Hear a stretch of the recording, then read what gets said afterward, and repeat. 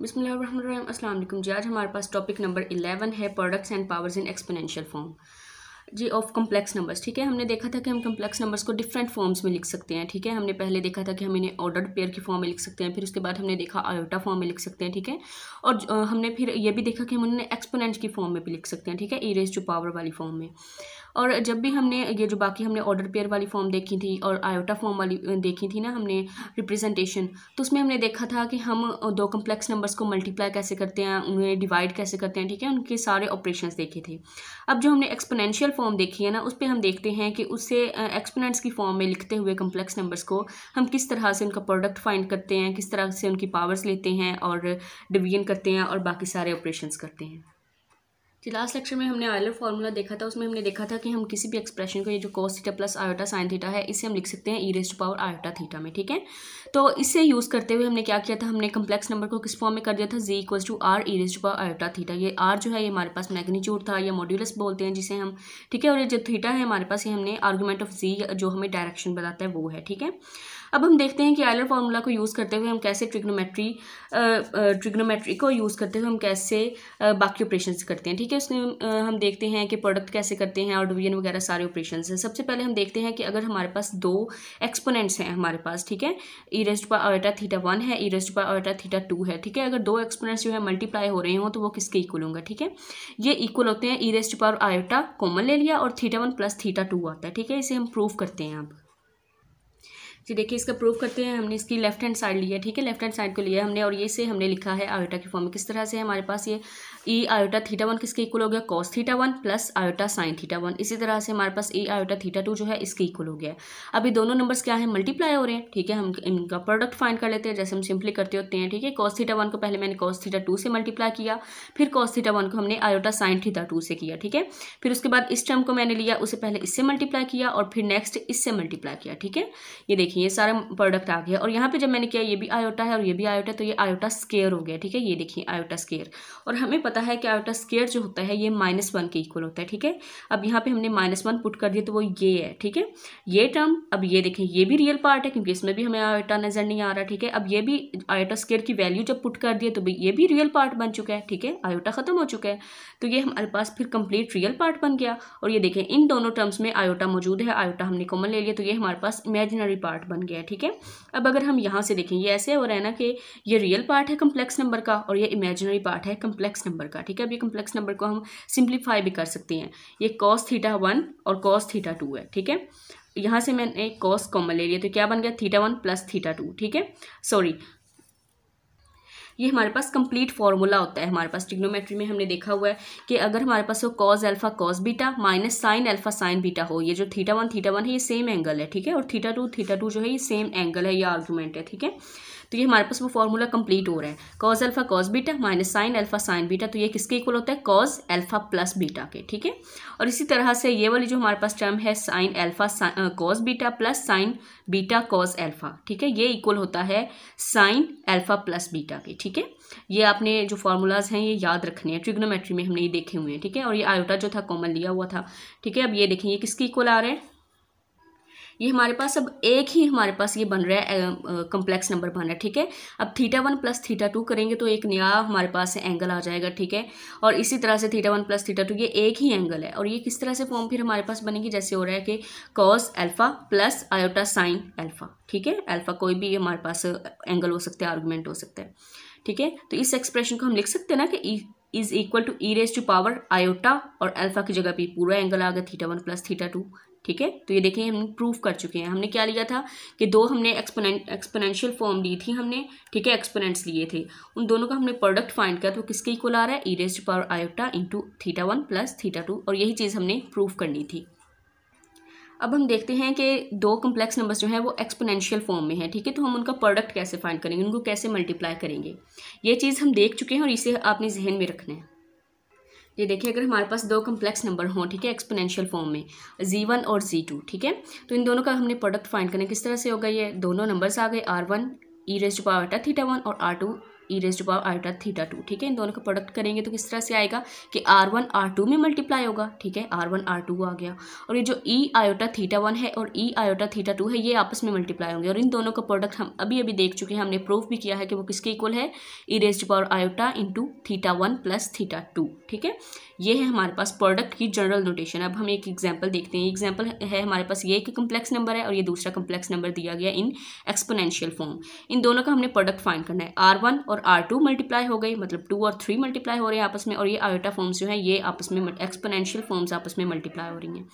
अब are one और are two है, ठीक है, जैसे जनरल नोटेशन में ये आर वन है, ये आर टू है, दोनों मल्टीप्लाई क्या हो गया? सिक्स हो गया थ्री टू जार सिक्स और यहाँ पे देखिए, फिर क्या होगा ये एंगल्स जो होंगे ऐड हो जाएँगे जैसे theta one plus theta two हो रहा है, ठीक है? E raised power iota into theta one plus theta two किया, इन्हें जब हमने ऐड किया तो ये हमारे पास पाई के इक्वल आ गया, ठीक है?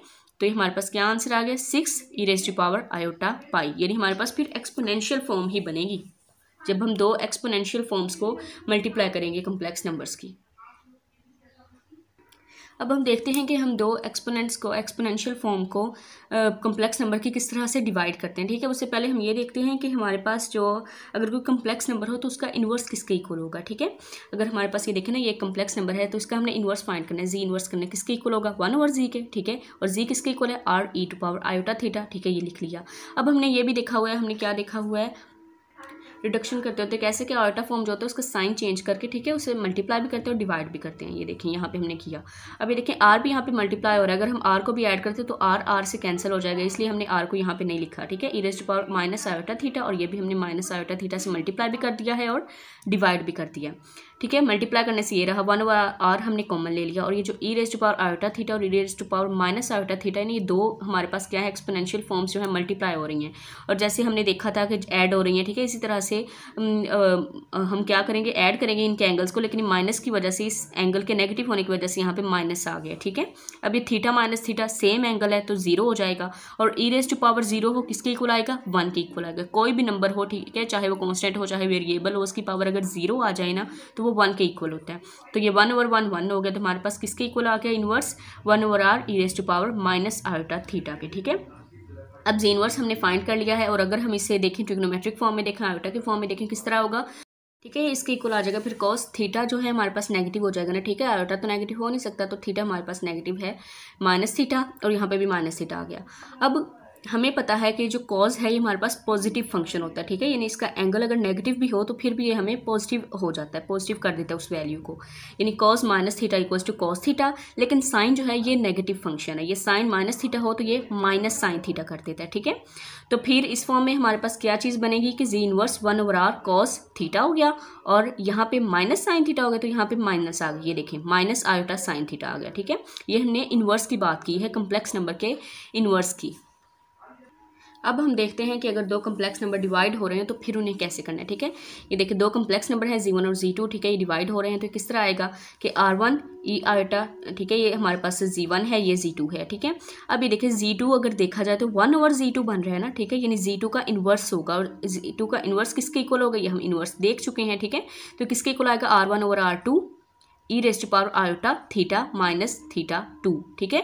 ये चीज़ हम अभी अभी देख चुके हैं कि इन्वर्स हम कैसे फाइंड करते हैं। तो ये हमारे पास जनरल नोटेशन आ गई है of division of two complex numbers in exponential form अब हम एक एग्जांपल करते हैं, ठीक है? ये दो कम्प्लेक्स नंबर्स हैं, इनको हमने डिवाइड करना है, ठीक है? ये दोनों कम्प्लेक्स नंबर्स आ गए। अभी देखें टू वन जार टू टू टू जार फोर आ गया। वन ओवर टू आ गया, ठीक है? ई रेस्ट पावर आयोटा और एंगल जो है ये नेगेटिव हो जाएँगे। मतलब ऊपर वाली जो एंगल है वो एज इट इज़ रहेगा, नीचे वाला जो एंगल होगा, ठीक है? ये ऊपर को जाके नेगेटिव हो जाएगा माइनस हो जाएगा। ठीक है?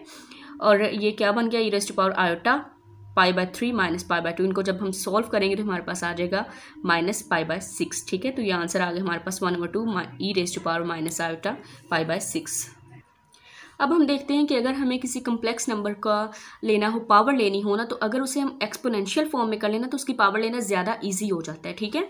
अब कोई भी हमारे पास कम्प्लेक्स नंबर हो, ठीक है, ये हमने ली हुई है एक्सपोनेंशियल फॉर्म ले लिया ठीक है z equal to r e की पावर आयोटा थीटा अब इसकी हमने पावर लेनी तो जनरल नोटेशन क्या है इसकी? Z raise to power n equals to r n e raise to power iota n theta यानी अगर हमने पावर कोई भी लेनी है, वो पावर एन हो मतलब एन कुछ भी हो सकता है, ठीक है एन कोई भी इंटीजर हो सकता है पॉजिटिव वैल्यू भी हो सकती है नेगेटिव वैल्यू भी हो सकती है, ठीक है। तो हमने क्या करना है? सिंपल उस कम्प्लेक्स नंबर की पावर किसके इक्वल होगी? कि अगर हम उसके आर जो हमारे पास मॉड्यूलस होता है, ठीक है, उसकी पावर एन कर दें और e raised power iota n theta कर दें, ठीक है? तो फिर ये हमारे पास सिंपल उसकी पावर आ जाएगी एक्सपोनेंशियल फॉर्म में कम्प्लेक्स नंबर की, ठीक है? अब हम इसे प्रूव करते हैं बाय मैथमेटिकल इंडक्शन अब मैथमेटिकल इंडक्शन क्या चीज़ होती है? ये एक ऐसा प्रोसेस है प्रूफ करने का? मतलब कोई भी हमने प्रूव करना हो किसी चीज़ को तो हम क्या करते हैं कि पहले उसे प्रूव कर देते कि ये वन के लिए इक्वल है, ठीक है? फिर हम प्रूव कर देते कि ये के के लिए सम नंबर इंटीजर के के लिए इक्वल है. फिर हम प्रूव कर देते कि के प्लस वन के लिए इक्वल है, ठीक है? मतलब अगर के के लिए भी इक्वल सेम प्रूव हो गई है वो चीज़ जो है इक्वल प्रूव हो गई है तो के प्लस वन के लिए भी होगी, ठीक है?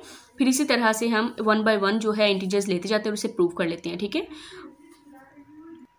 मैथमेटिकल इंडक्शन को हम बहुत दफ़ा यूज़ कर कर चुके हैं अपने और सब्जेक्ट्स में भी, ठीक है?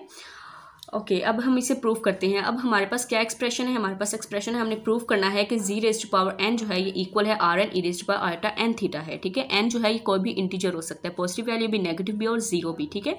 सबसे पहले हम ये देख रहे हैं कि ये जो एक्सप्रेशन है ये एन इक्वल्स टू वन के लिए जो है सेटिस्फाई हो रहा है इसे प्रूव करता है। तो हमने क्या किया? एन की जगह पे वन पुट कर दिया। तो क्या आ गया? Z one equals to r one e raised iota one theta ठीक है? एन की जगह पे वन आ गया। हमारे पास जो पावर है हमने वन लेनी है तो इक्वल आ गया z equals to r e raise पर आटा थीटा प्रूव हो गया इनके इक्वल्स टू वन के लिए।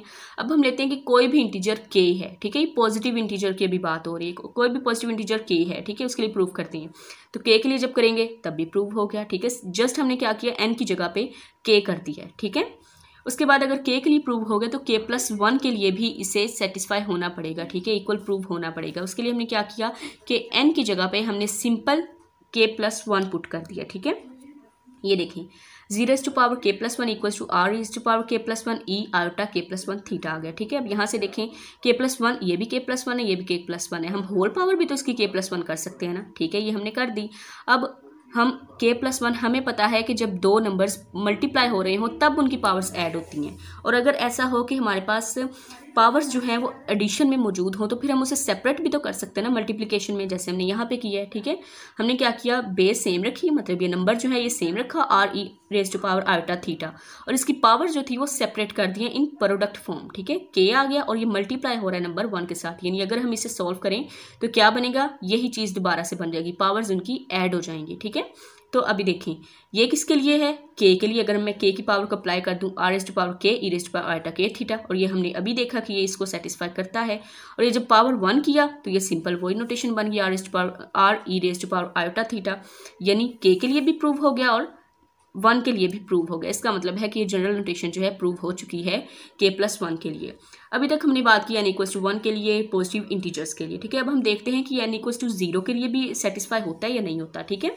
उसके लिए हमने क्या किया? एन की जगह पे सिंपल हमने ज़ीरो पुट कर दिया। ज़ीरो टू पावर ज़ीरो हो गया equals to r s to power zero e into power ultra zero theta हो गया, ठीक है? अब, अभी अभी हमने बात की कि किसी भी नंबर की पावर जब ज़ीरो होती है तो वो वन के इक्वल होता है। फिर चाहे वो नंबर कॉन्स्टेंट हो वेरिएबल हो एक्सपोनेंशियल में हो, ठीक है? तो ये वन के इक्वल आ गई ये चीज़ भी वन के इक्वल ये चीज़ भी वन के इक्वल आ गई left hand side equal right hand side prove हो गया, ठीक है? अब हम बात करते हैं नेगेटिव नंबर्स की, कि नेगेटिव नंबर्स के लिए भी ये जो हमने एक्सप्रेशन देखा है, ये ठीक है या नहीं है, ठीक है? उसके लिए हमने क्या किया कि एक नेगेटिव इंटीजर हमने ले लिया, ठीक है? एन ले लिया, कोई भी नेगेटिव इंटीजर एन ले लिया। और हमने ये कहा कि n equals to minus m है। इंटीजर है, ठीक है? उसके कॉरस्पॉन्डिंग कोई पॉजिटिव वैल्यू भी होगी, ठीक है? और वो पॉजिटिव वैल्यू एम ले लिया, यानी एम के को जब मैं नेगेटिव कर दूँ तो वो हमारे पास एन बन जाता है। N equals to minus m अब हमने क्या किया? जीरेज टू पावर एन ठीक है? और एन किसके इक्वल है? माइनस एम के इक्वल है। और इसी तरह से यहाँ पे भी एन पावर जो थी वो माइनस एम हो गई है, ठीक है? अब ये जो नेगेटिव साइन है, इसमें अंदर अप्लाई भी कर सकती हूँ ये क्या बन गया? R inverse e raise to power minus iota theta बन गया, ठीक है?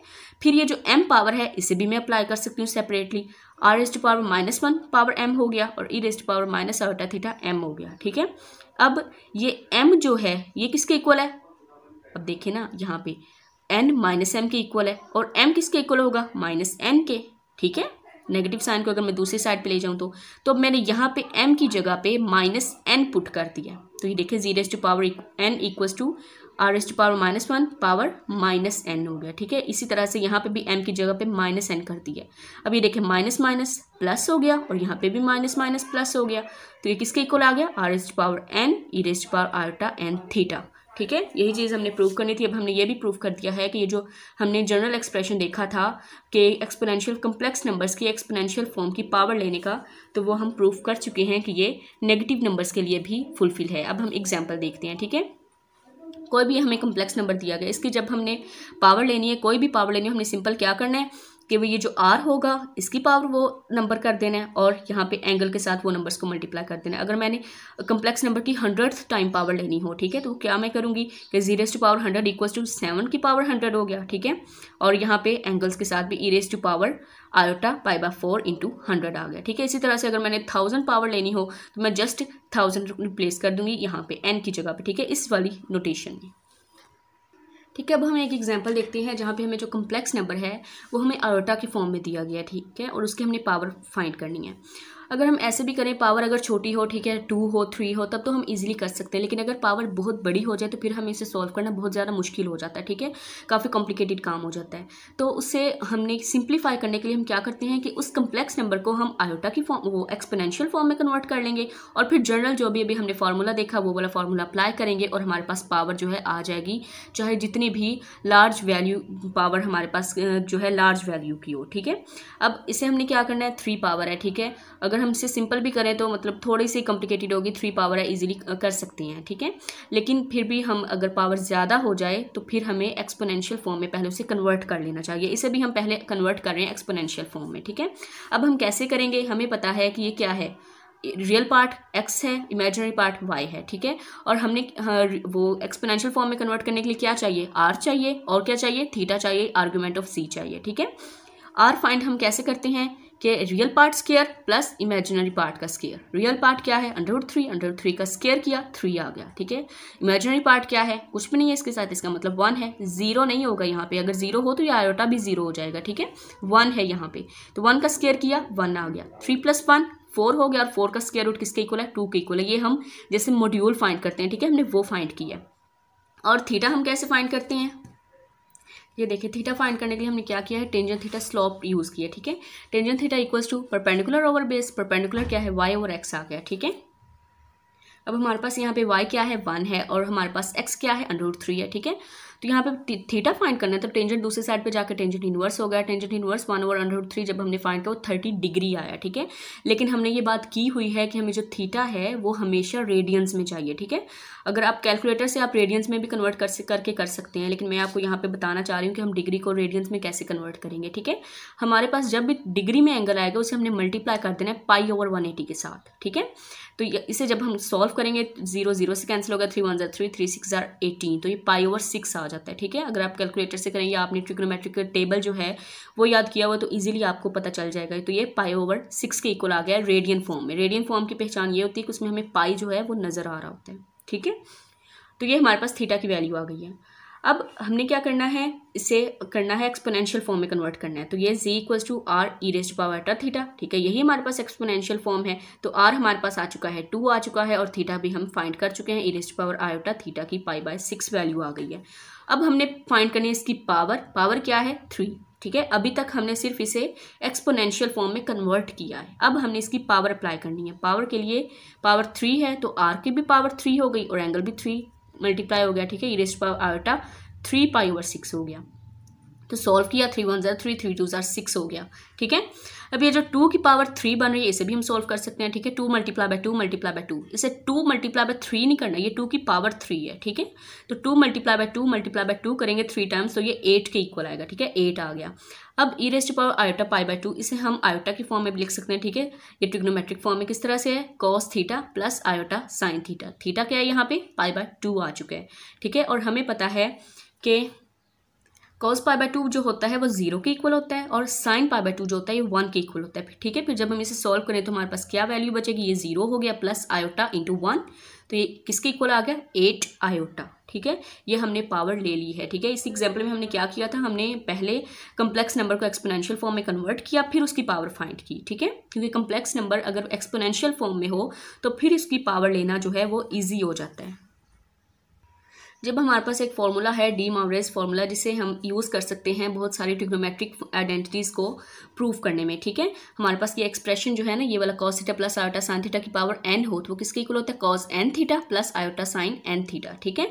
ये इसके इक्वल होता है और ये एन जो है, ये हमारे पास कोई भी इंटीजर हो सकता है ज़ीरो भी हो सकता है नेगेटिव वैल्यू भी हो सकती है पॉजिटिव भी हो सकती है, ठीक है? इस एक्सप्रेशन को हम बोलते हैं डी मावरेज फार्मूला इसका नाम जो है ये डीमावरे ये एक, हमारे पास फ्रेंच फ्रेंच एक साइंटिस्ट था, ठीक है? उसके नाम पे ये रखा गया, ठीक है फॉर्मूला अब हम इसे यूज़ करते हैं ट्रिग्नोमेट्रिक रेशियोज को प्रूव करने के लिए। हमारे पास फ़र्स्ट एग्जांपल है शो दैट हमने शो करना है कि cos theta equals to cos square theta minus sine square theta और sine two theta equals to two sine theta cos theta के इक्वल होता है, ठीक है? ये हमने बहुत दफ़ा यूज़ तो किए हुए हैं, लेकिन कभी इन्हें प्रूव नहीं किया इन फार्मूलाज को, ठीक है? अब हम इन्हें प्रूव करते हैं। ओके okay, अब हमारे पास यहाँ पे पावर क्या है? स्केयर है ना ठीक है? इसलिए हम स्केयर वाले यूज़ कर रहे हैं कि cos theta plus iota sine theta square ठीक है? अब इसे सिंपल हम देखते हैं कि स्केयर किसके इक्वल होता है? अगर हम a plus b whole square करें a square plus b square plus two a b ठीक है? ये फॉर्मूला लगा लिया मैंने ठीक है? तो फॉर्मूला का ये आयोटा स्केयर हो गया। आयोटा स्केयर हमें पता है किसके इक्वल होता है? माइनस वन के इक्वल होता है ये माइनस वन आ गया। यहाँ पे आयोटा कॉमन ले लिया। ये देखिए ये रियल पार्ट बन चुके हैं और ये इमेजिनरी पार्ट बन चुके हैं। अब डी मावरे फॉर्मूला क्या कहता है कि जब भी कोई पावर होगी तो वो किसके इक्वल हो जाएगा? कॉस टू थीटा मतलब वो जो पावर होगी वो एंगल के साथ मल्टीप्लाई हो जाएगी। Cos two theta plus iota sine two theta के इक्वल हो जाएगा, ठीक है? अब ये इसकी जगह पे मैंने ये लिखा है, ठीक है? लेफ़्ट हैंड साइड पे। अब ये left hand side right hand side के इक्वल है। इक्वल है तो इसका मतलब है कि जो दो कम्प्लेक्स ये भी एक कम्प्लेक्स नंबर है और ये भी एक कम्प्लेक्स नंबर है। और दो कम्प्लेक्स नंबर्स तब ही इक्वल होंगे जब उनका रियल पार्ट भी इक्वल हो और इमेजिनरी पार्ट भी इक्वल हो, ठीक है? इसका मतलब है कि ये जो real part cos two theta है, ये इक्वल किसके है? Cos square theta minus sine square theta के इस रियल पार्ट के इक्वल है। और ये जो इमेजिनरी पार्ट है, ये इस वाले इमेजिनरी पार्ट के इक्वल है, तभी ये दोनों कम्प्लेक्स नंबर्स इक्वल होंगे, ठीक है? अब कंपेयर जब हम करेंगे तो ये देखिए प्रूव हो चुके हैं हमारे पास डायरेक्ट कि cos two theta equals to cos square theta minus sine square theta जब हमने रियल पार्ट्स को कंपेयर किया और जब इमेजिनरी पार्ट्स को कंपेयर किया तो ये इक्वल हो गया sine two theta equal to two sine theta cos theta तो ये प्रूव हो चुका है बहुत ईजिली ठीक है? इस फॉर्मूले को यूज़ करते हुए। इसी तरह से नेक्स्ट एक एक्सरसाइज है जो कि आप लोगों ने खुद सॉल्व करनी है। शो दैट हमने शो करना है कि cos five theta equal to cos five theta power ठीक है? Minus cos power three theta sine square theta plus five cos theta sine four theta ठीक है? ये आपने खुद से प्रूव करना है। अब इस फॉर्मूले को यूज़ करते हुए हम बहुत सारे ट्रिग्नोमेट्रिक रेशियोज के साथ साथ हम लग्रांज ट्रिग्नोमेट्रिक आइडेंटिटी को भी प्रूव कर सकते हैं, ठीक है? इस आइडेंटिटी को भी प्रूव कर सकते हैं। हम इसे यहाँ पे प्रूव नहीं कर रहे ठीक है? बस बता रहे हैं। और इसी तरह से हम ये वाली जो कम्प्लेक्स आइडेंटिटी दी गई है, ठीक है? इसे भी हम प्रूव कर सकते हैं। ओके इस लेक्चर में हमने क्या देखा? हमने देखा कि एक्सपोनेंशियल फॉर्म अगर हो कम्प्लेक्स नंबर की तो उसका प्रोडक्ट डिवीज़न और उसकी पावर कैसे लेते हैं? और हमने फिर डी मावरे फॉर्मूला देखा और उसकी कुछ एग्जाम्पल्स देखी और ये देखा कि इसे यूज़ करते हुए हम कैसे ट्रिग्नोमेट्रिक रेशियोज को प्रूव कर सकते हैं, ठीक है? ओके यहीं तक ही आज हम करते हैं नेक्स्ट हम नेक्स्ट लेक्चर में करेंगे. टेक केयर अल्लाह हाफिज़